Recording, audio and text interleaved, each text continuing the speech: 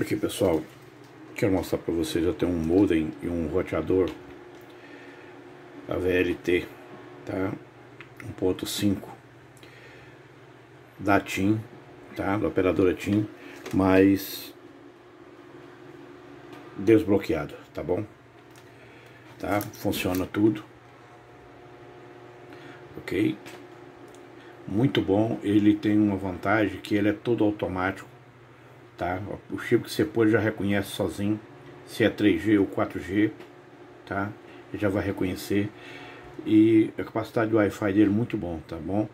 Funciona perfeito, tá bom, pessoal? Usado, mas muito bem conservado.